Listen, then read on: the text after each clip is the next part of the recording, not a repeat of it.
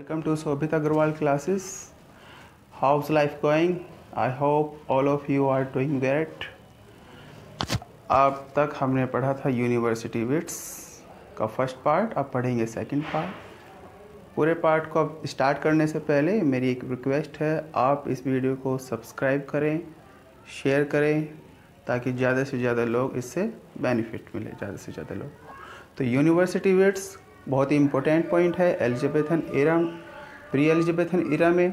और हमने अभी तक क्या बताया था यूनिवर्सिटी वेट्स में? आपको बताया था कि कौन कौन से यूनिवर्सिटी वेट्स हैं और उन्होंने ड्रामा में किस तरीके से अपने आप को ड्रामा को किस तरह फ्लरिश किया, किस तरह इंट्रोड्यूस किया और किस तरह की वो ड्रामा ड्रामा यूज़ करते थे रोमांटिक या क्लासिकल तो अब हम क्या पढ़ेंगे? अब हम पढ़ेंगे यूनिवर्सिटी वेट्स के जो कनेक्शन है, जो हमारे सिलेबस में भी है विलियम शेक्सपियर। उनका, उनसे विलियम शेक्सपियर का कहाँ तक कनेक्शन है और उनके जो जो इम्पोर्टेंट वर्क हैं, वो पढ़ेंगे। तो सबसे पहले हमारे जो यूनिवर्सिटी वेट्स हैं, वो जॉन लाइले है और इनका जो सबसे पहला वर्क है, Euphues anatomy of wit 1578 Endymion Campaspe Midas, Midas. तो अब हमें पढ़ना है सबसे पहला work, Euphues anatomy of wit इसमें देखिए, इसमें हमें ज़्यादा कुछ नहीं देखना। हमें इसमें देखना है कि ये कब लिखा? 1578 इसका टाइटल याद रखना है और इनका सबसे इम्पोर्टेंट वर्क है ये। और इसमें इन्होंने इंट्रोड्यूस किया था एक टर्म इफ्यूज़ इनमें इस, इन्होंने इफ्यूज़ एक टर्म इंट्रोड्यूस किया था। इसका मीन्स था बोम्बेस्टिक पन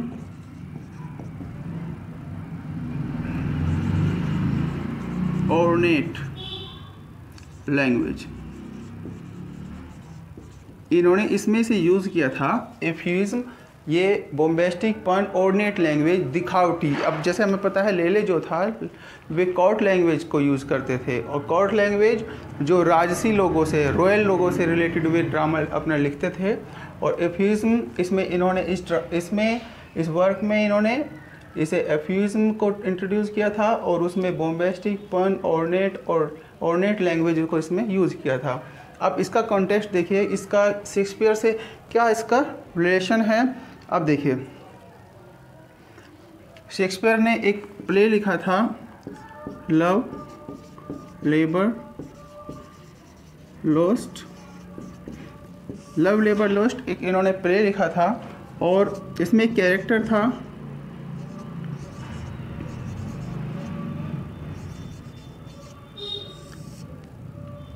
डॉन एड्रियानो डॉन एड्रियानो इसमें एक कैरेक्टर था।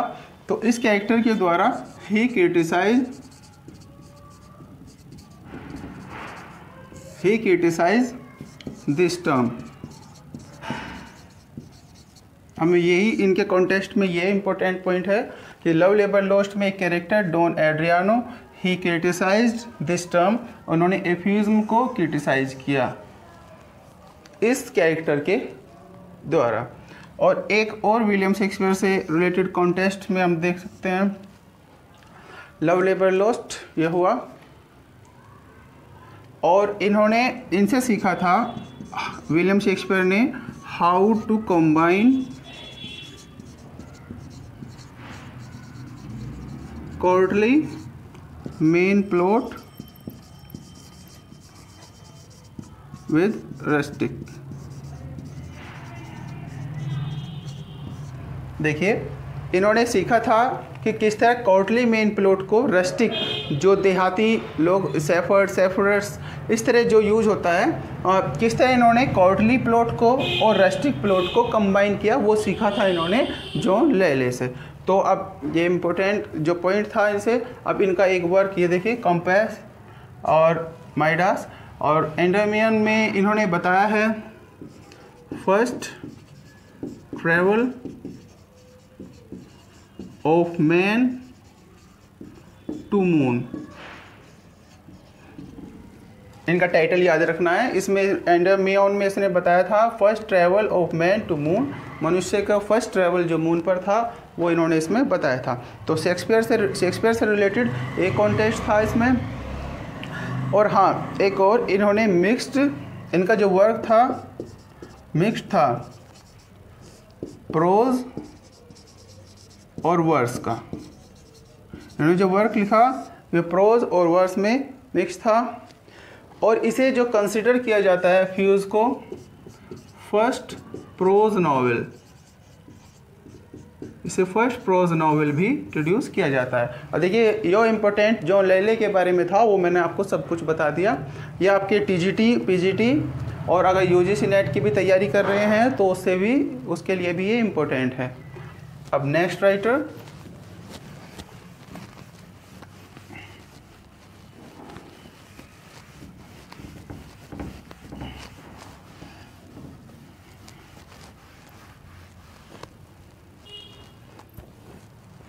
नेक्स्ट राइटर हैं। Robert green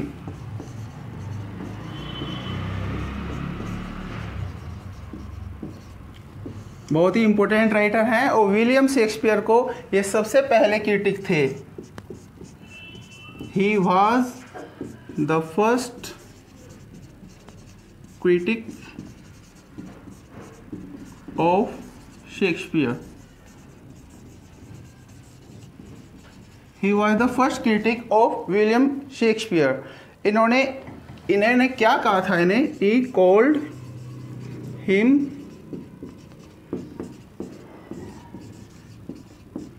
upstart crow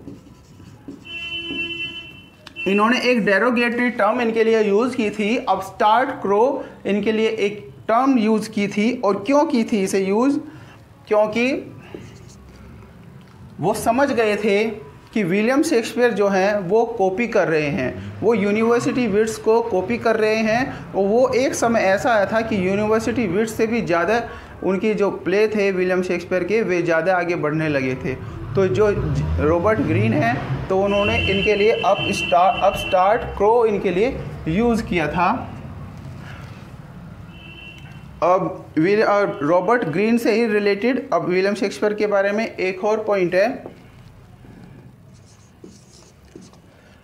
Robert Greene का एक वर्क था।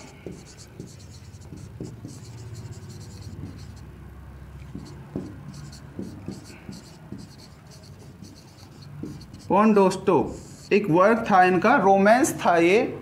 और इन, इनसे ही इंस्पायर होकर विलियम शेक्सपियर ने लिखा था a foreshadow of Winter's Tale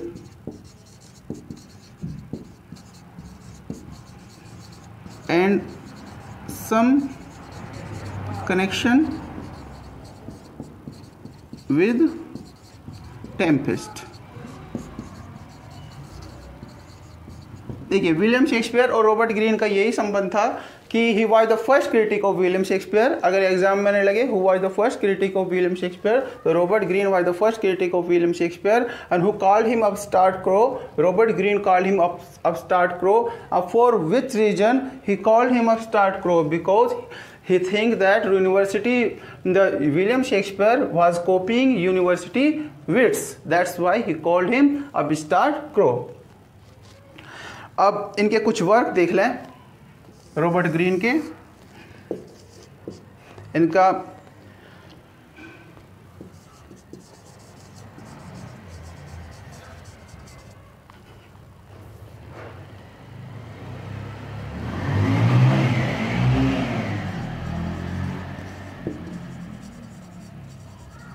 Alphonsus king of Aragon.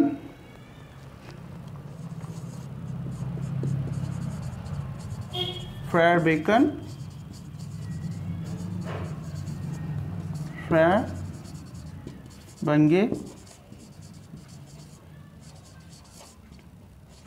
friar Bacon friar Bungay और एक और इनका लास्ट जो इम्पोर्टेंट वर्क है वो है ओरलैंडो एंड फ्यूरियोसो ये इनके इम्पोर्टेंट वर्क हैं। और जो विलियम शेक्सपियर से कनेक्शन था, वो ये था। नेक्स्ट ये भी बहुत ही इम्पोर्टेंट है।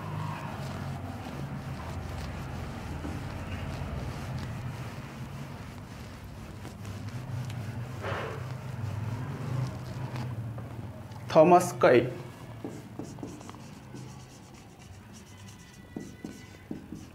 बहुत ही इम्पोर्टेंट राइटर हैं। यूनिवर्सिटी वेट्स में।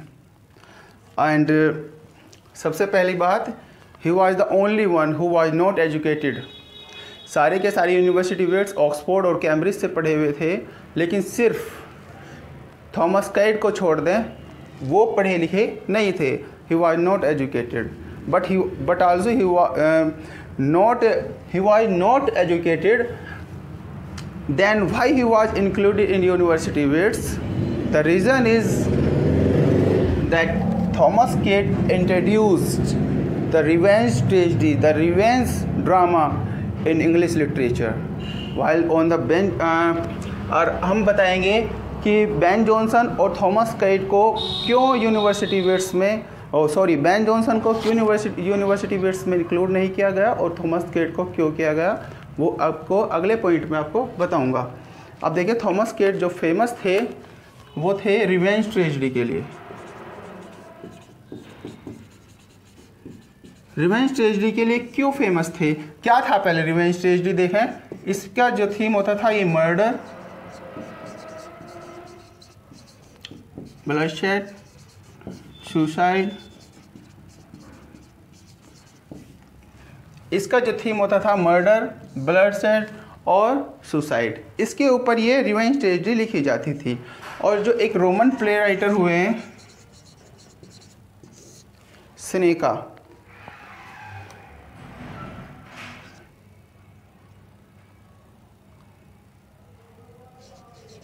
सिनेका सिनेका एक रोमन प्ले राइटर हुए हैं।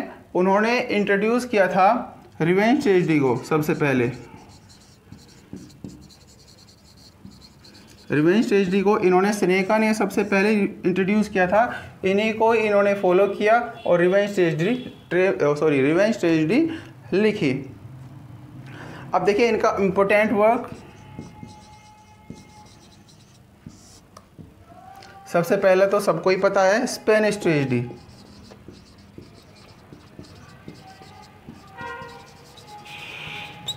इनका मोस्ट इम्पोर्टेंट वर्क है। स्पेनिश ट्रेजडी इनका इसका एक और भी नाम है।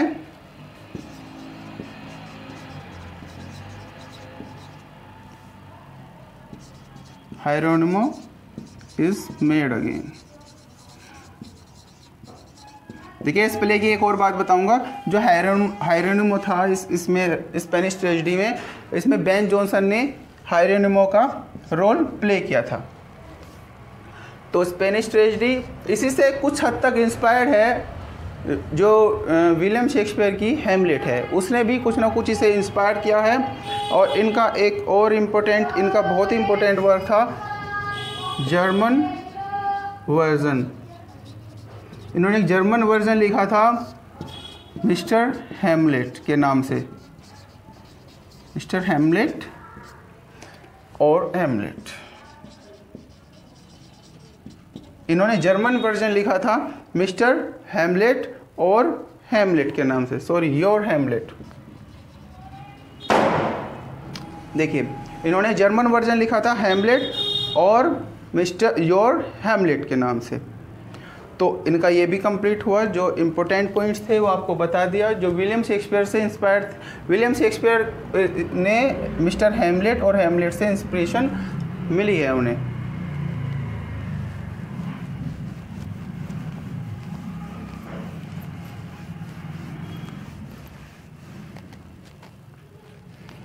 Thomas Lodge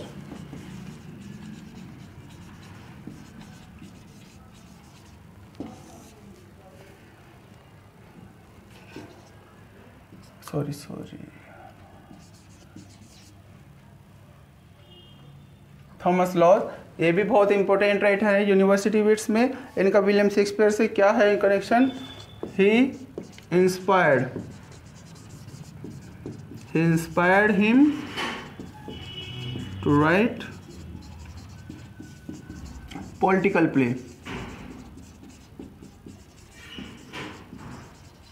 देखिए इन्होंने इंस्पायर किया था विलियम शेक्सपियर ने सॉरी थॉमस लॉज ने इंस्पायर किया था विलियम शेक्सपियर को पॉलिटिकल प्ले लिखने के लिए। इनका आ, बहुत ही इम्पोर्टेंट वर्क है एक वाउंड ऑफ़ सिविल वार ये इसी वर्क के लिए सबसे ज़्यादा फ़ेमस हैं। और विलियम शेक्सपियर से इनका क्या कनेक्शन है? इन्होंने एक वर्क लिखा था Rosalind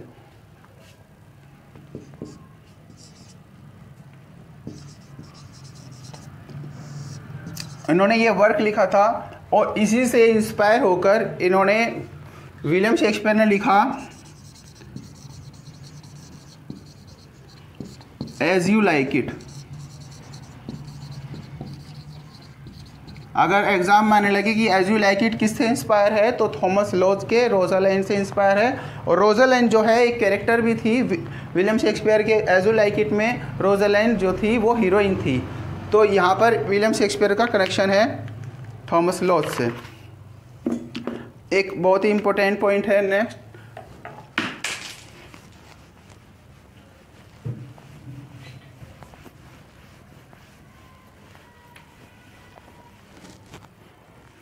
Thomas Nashe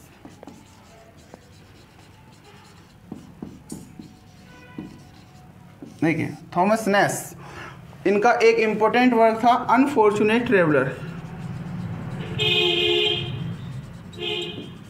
unfortunate traveller इनका बहुत ही इंपॉर्टेंट वर्क है अनफॉर्चुनेट ट्रेवलर और इसे कहते हैं, एक और वर्क इसे कह सकते हैं, कहा जाता है लाइफ ऑफ़ जैक विल्ट। देखिए ही इंट्रोड्यूस इंट्रोड्यूस इन्होंने क्या इंट्रोड्यूस किया था? इन्होंने किया था इंट्रोड्यूस पिकास्क नोवेल। इन्होंने पिकास नॉवल, आपको पता होगा क्या होता है पिकास नॉवल? वो जब हम लिटरेरी फॉर्म्स पढ़ेंगे, जब आपको बताया जाएगा। पिकारिस नॉवल इन्होंने इंट्रोड्यूस किया था। It was the unfortunate traveller और life of Jack Wilton was the first was the first picaresque novel in history of English literature इनका यही मुख्य जो contribution था। Uh, one of the most important writer in pre-Shakespearean era Christopher Marlowe.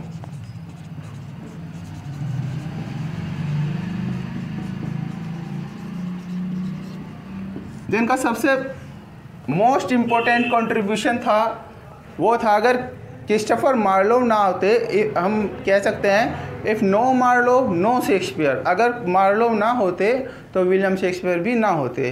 क्योंकि William Shakespeare ने जितने भी अपने प्ले लिखे थे, वो ब्लैंक वर्स में लिखे थे। और ब्लैंक वर्स इंट्रोड्यूस की थी हेनरी सरे ने।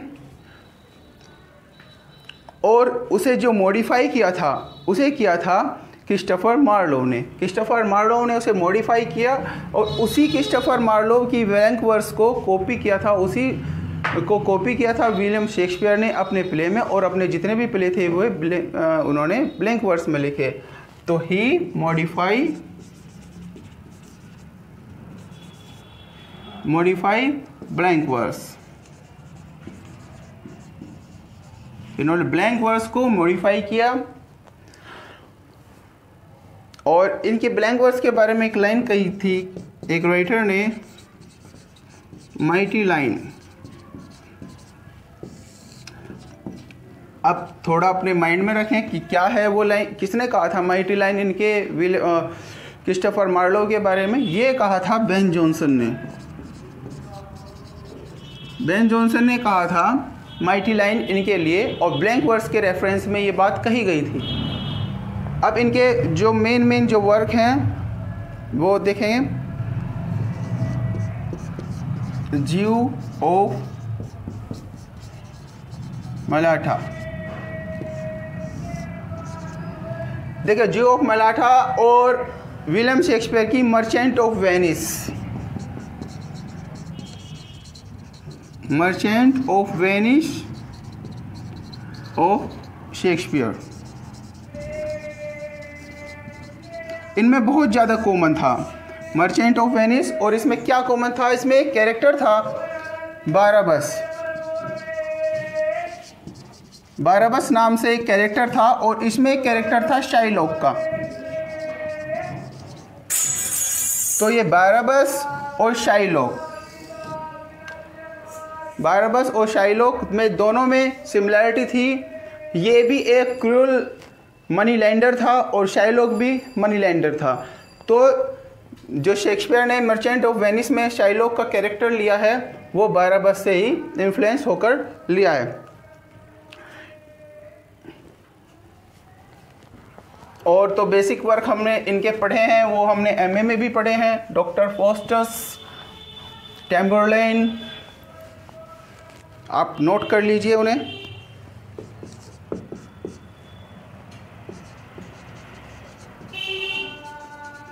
Tamburlaine doctor Faustus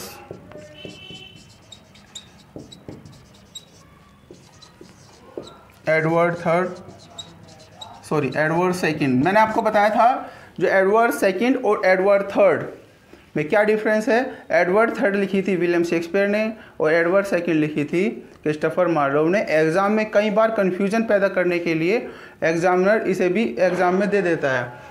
तो हम कंफ्यूज हो जाते हैं कि एडवर्ड करके तो विलियम शेक्सपियर ने लिखा था तो इसलिए जो भी पॉइंट पढ़ें, वो आप बहुत ध्यान से पढ़ें।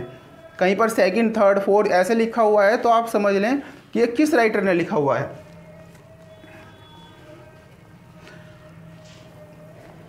एक और वर्क मैसेकर एट पेरिस देखिए क्रिस्टोफर मार्लो के बारे में एक और वर्क बात लिखिए। He wrote only tragedy he wrote only tragedy इन्होंने एक भी कॉमेडी नहीं लिखी थी। इन्होंने सिर्फ़ ट्रेजडी लिखी थी। मैंने आपको बता दिया ब्लैंक वर्स मार्लो का जो कंट्रीब्यूशन था और जो शेक्सपियर से कनेक्शन था, वो ब्लैंक वर्स से था। और ब्लैंक वर्स शेक्सपियर ने क्रिस्टोफर मार्लो की ही यूज़ की थी। राइटर है जॉर्ज पेले ये known for first historical play Edward first Edward first जो था, इन्होंने लिखा था, और ये फ़र्स्ट हिस्टोरिकल प्ले था। Arraignment of Paris David and Bethsabe the old wife tale ये इनके इम्पोर्टेंट वर्क हैं।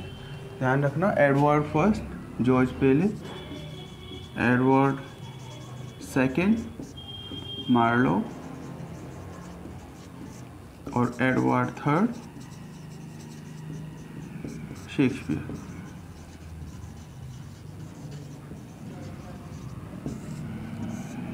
thank you very much आपका यूनिवर्सिटी विट्स कंप्लीट हुआ। Thank you